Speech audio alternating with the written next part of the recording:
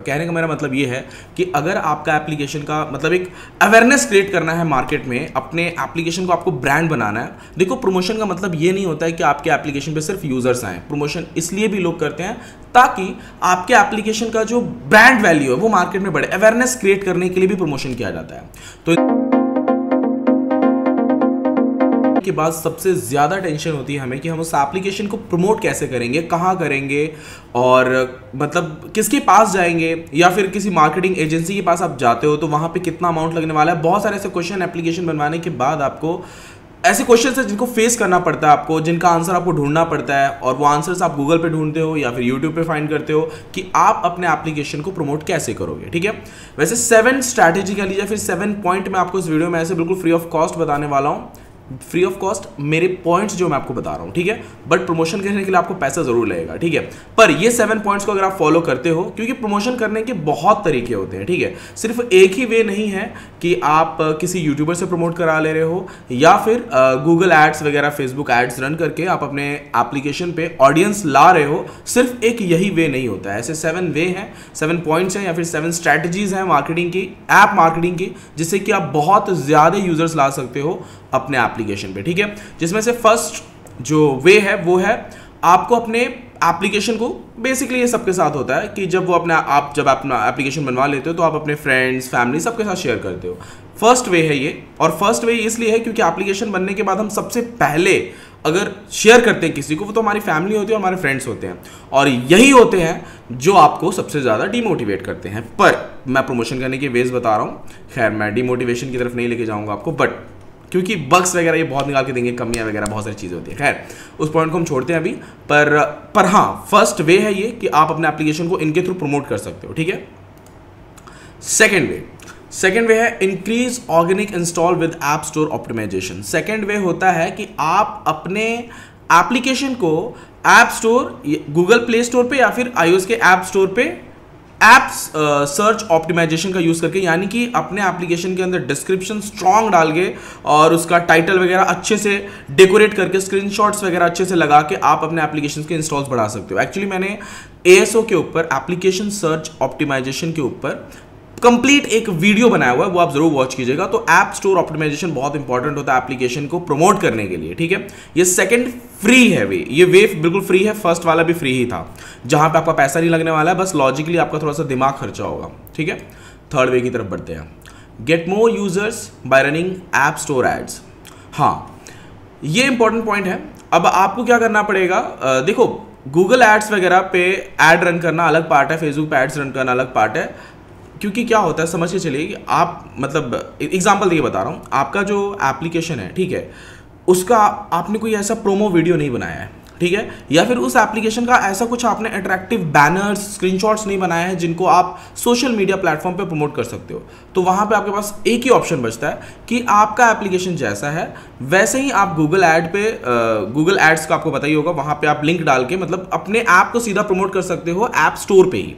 ठीक है? मतलब अगर कोई यूज़र सर्च करेगा, उससे रिलेटेड टैग कुछ सर्च करेगा, जैसे समझ के कि आपने म्यूज़िक ऐप बनाया और मैं कुछ सर्च कर रहा हूँ म्यूज़िक प्ले स्टोर पर ठीक है? तो वहाँ पर आपका फ़र्स्ट या सेकेंड नंबर पर एड शो करेगा गूगल तो ये होता है मतलब उनके ही ऐप स्टोर पे अपने एप्लीकेशन का प्रमोशन करना है, जहाँ पे आपने अपने एप्लीकेशन को डाला हुआ है। जैसे अगर आपने आईओएस पे डाला है तो आईओएस का जो प्लेटफॉर्म है, जैसे जहाँ पे हम डालते हैं एप्लीकेशन को, जैसे गूगल प्ले स्टोर का गूगल कंसोल है, ठीक है आईओएस के आप ऐप स्टोर पे डाल रहे हो तो वो जो अकाउंट वगैरह खरीद के आप डालते हो अपने एप्लीकेशन को, वहीं पे मतलब ऑप्शन रहते हैं प्रमोशन करने के लिए तो वहाँ से आप प्रमोट कर सकते हो अपने एप्लीकेशन को, ताकि अगर कोई यूज़र सर्च करे ऊपर कुछ लिखे आपके एप्लीकेशन से रिलेटेड कुछ टैग सर्च करे तो वहाँ पे आपका एप्लीकेशन उनको फ़र्स्ट या सेकंड नंबर पर मिल जाए। ठीक है, ये थर्ड वे है और ये पेड वे है। अब बात करते हैं फोर्थ वे जो बहुत इंपॉर्टेंट है और इसके लिए फोर्थ वे की तरफ़ बढ़ने से पहले मैं आपको बताऊँगा दोस्तों, मेरा टैंपलेट का जो ज्वाइन बटन है ना, जो सब्सक्राइब बटन के साइड में ज्वाइन बटन दिया हुआ है, उस पर हिट ज़रूर कीजिए। क्योंकि वो कंप्लीट आप सीख लोगे सिर्फ़ फिफ्टी नाइन रुपीज़ में, ठीक है? और फिफ्टी नाइन रुपीज़ में ये फोर्थ वाला वे कंप्लीट हो जाएगा आपका। कहने का मेरा मतलब ये है कि अगर आपका एप्लीकेशन का मतलब एक अवेयरनेस क्रिएट करना है मार्केट में, अपने एप्लीकेशन को आपको ब्रांड बनाना है, देखो प्रमोशन का मतलब ये नहीं होता है कि आपके एप्लीकेशन पर सिर्फ़ यूज़र्स आएँ। प्रमोशन इसलिए भी लोग करते हैं ताकि आपके एप्लीकेशन का जो ब्रांड वैल्यू है, वो मार्केट में बढ़े। अवेयरनेस क्रिएट करने के लिए भी प्रमोशन किया जाता है। तो इन सब चीज़ों पर आप ज़रूर ध्यान दीजिए। और ये पॉइंट को अगर आपको अच्छे से मतलब एक एप्लीकेशन को ब्रांड बनाना है, अच्छे यूज़र्स लाने हैं। मतलब ज़्यादा भविष्य में आपको बाद में प्रमोशन के लिए पैसा ना लगाना पड़े। उसके लिए आप मेरा टेम्पलेट का ज्वाइन बटन हिट कीजिए, जो सब्सक्राइब बटन के बाजू में दिया हुआ है। उस पर हिट करके आपको सारी चीज़ें वहाँ पर सीखने को मिल जाएँगी। खैर फोर्थ पॉइंट पे आप क्या कर सकते हो? समझिए चलिए कि आपका जो एप्लीकेशन है, उससे रिलेटेड कॉन्टेंट बना के वीडियोज़ पोस्टर बैनर्स वगैरह बना के आप सोशल मीडिया प्लेटफॉर्म पर प्रमोट कर सकते हो। इंस्टाग्राम फेसबुक ट्विटर ऐसे बहुत सारे प्लेटफॉर्म है। ऐसे बहुत सारे वेबसाइट्स भी हैं जहाँ पे प्रमोट कर सकते हो आप, ठीक है? ये फोर्थ वे है, ये भी पेड है।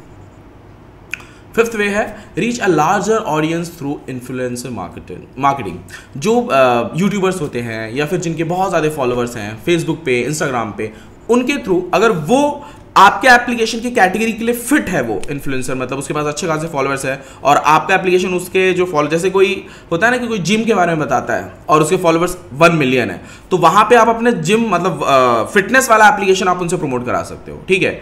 अब ऐसा नहीं कि कॉमेडी वाला चैनल है वहाँ पे आपने क्या किया? प्रमोट करा दिया अपने फिटनेस वाले एप्लीकेशन को। तो चांसेस कम है कि वहाँ पे डाउनलोड होंगे, ठीक है?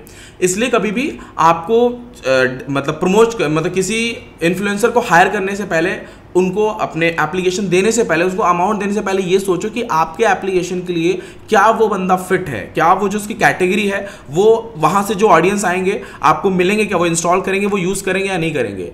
क्यों, ये बहुत इंपॉर्टेंट होता है। वरना होता क्या है कि यूज़र्स उसके कहने पे डाउनलोड तो कर लेंगे, पर यूज़ नहीं करेंगे। यूज़ ही नहीं करेंगे तो आपका पैसा तो वेस्ट हो गया। चालीस पचास हज़ार, एक लाख डाल के भी क्या मतलब है? तो ये हो गया किसी इन्फ्लुएंसर से मार्केटिंग कराने का वे ये पेड है, ठीक है?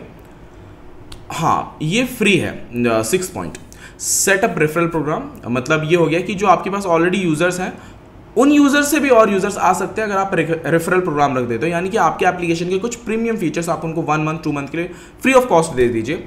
और उन्हें कहिए कि आपको कुछ उनको एक वो आपके लिए एक वर्क करेंगे। मतलब कुछ टेन ट्वेंटी फिफ्टी यूज़र का टारगेट रख दीजिए कि फिफ्टी यूज़र्स अगर आप फिफ्टी लोगों को रेफर करते हो, अगर वो इंस्टॉल करते हैं तो आपको हमारे एप्लीकेशन के कुछ premium features free of cost provide हो जाएँगे one month two month three month के लिए। ठीक है? ये सिक्स वे और ये बिल्कुल फ्री ऑफ़ कॉस्ट है। सेवेंथ वे है। सेवेंथ वे बहुत ही ज़्यादा इंटरेस्टिंग है। Boost app downloads with an S optimise website अब क्या होता है दोस्तों? कभी कभी जब हम गूगल प्ले स्टोर पर भी हमने बहुत मेहनत, मशक्क़त कर ली एप्लीकेशन को एप्लीकेशन का ऐप स्टोर ऑप्टिमाइजेशन करने के लिए डिस्क्रिप्शन अच्छा डाला टैगिंग अच्छी डाल दी शॉर्ट डिस्क्रिप्शन अच्छा डाला हमने थंबनेल भी बहुत अच्छा डाला है। थंबनेल से मेरा मतलब स्क्रीनशॉट्स वगैरह। और टाइटल भी हमने बहुत अच्छा डाल दिया पर होता है क्या कभी कभी ऐसा होता है कि नहीं हो पाता है यार, वो रैंक नहीं कर पाता है। तो उस सिनारियो में आपको क्या करना है कि वेबसाइट आप अपने एप्लीकेशन का एक वेबसाइट रेडी करो और उस वेबसाइट में कंप्लीट डाटा फिल करो। उस वेबसाइट को प्रमोट कर दो या फिर उस वेबसाइट का एस स्ट्रॉन्ग करो क्योंकि क्या होता है, ज़रूरी नहीं होता है जो बंदा प्ले स्टोर पर सर्च कर रहा है एप्लीकेशन को, वो प्ले स्टोर पर ही सर्च करेगा। बहुत ऐसे यूज़र्स हैं जो गूगल पे सर्च करते हैं सीधा। कुछ एप्लीकेशंस के नाम लिख के। जैसे म्यूज़िक से रिलेटेड डालते हैं तो म्यूज़िक ऐसे कुछ सर्च करेंगे गूगल पे तो वहाँ पे गूगल सजेस्ट करता है कुछ एप्लीकेशंस को। तो अगर आपके वेबसाइट का एस e आपने स्ट्रॉन्ग रखा है तो आपका वेबसाइट रैंक में आएगा वहाँ पे, और वहाँ से भी बहुत ज़्यादा चांसेस है कि आपके जो यूज़र्स मतलब आपको वहाँ से यूज़र्स मिल जाएँगे अपने खुद के एप्लीकेशन के लिए। आई होप दोस्तों आपको मेरा ये वीडियो पसंद आया है, और ये सेवन पॉइंट्स आपको बेस्ट लगे हैं, और ये सेवन्थ वाला फ्री है, ठीक है? तो आप इस वीडियो को लाइक ज़रूर कीजिए, अगर आप मेरे चैनल पर नए हैं तो चैनल को सब्सक्राइब कर लीजिएगा। थैंक यू दोस्तों मैं था नेक्स्ट वीडियो में।